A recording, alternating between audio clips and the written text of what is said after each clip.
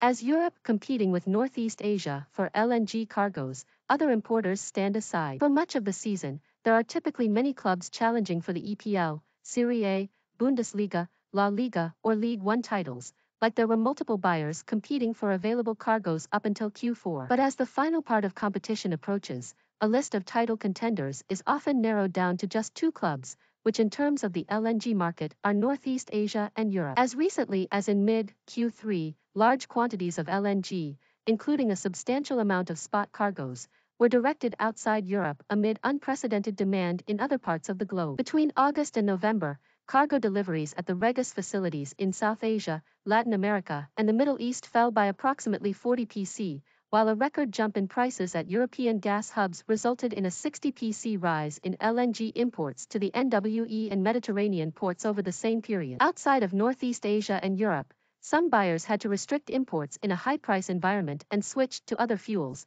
as in the case of Chile that found in gas oil a substitute for LNG.